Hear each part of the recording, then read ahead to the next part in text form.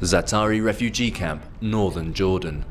This bleak desert camp is now home to over 90,000 Syrians. More than half are children. 13-year-old Bashir is one of them. His family fled their home seven months ago. But since arriving, his thoughts have never left his hometown of Deraa. الحمد لله بس بسوريا أحسن اللي بده شيء نرجع بس على بلدنا وما بدنا شيء. Bashir's family were early arrivals at the camp and are one of the lucky few who have since moved from a fragile tent to a prefabricated unit.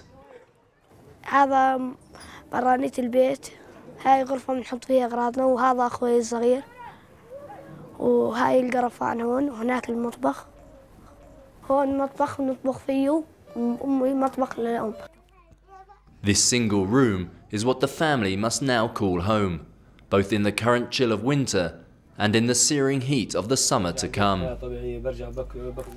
Bashir attends the camp's UNICEF-supported school.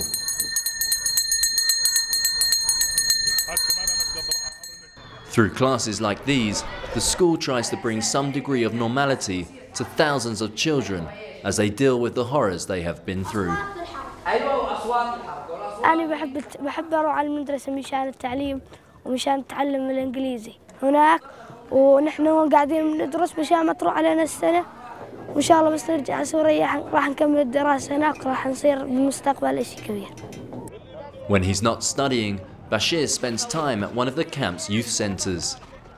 These help children and young people to re engage with their childhood and relearn social skills.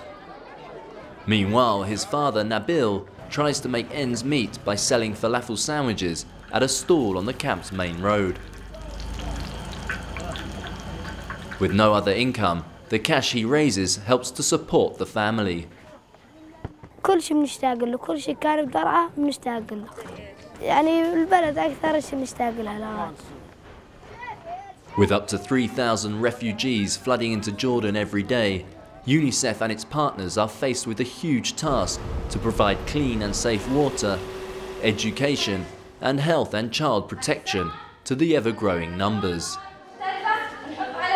Yet less than 20% of the required funds have been raised. With such a massive shortfall, the task of preventing Bashir and the children of Syria becoming part of a lost generation is even more of a challenge.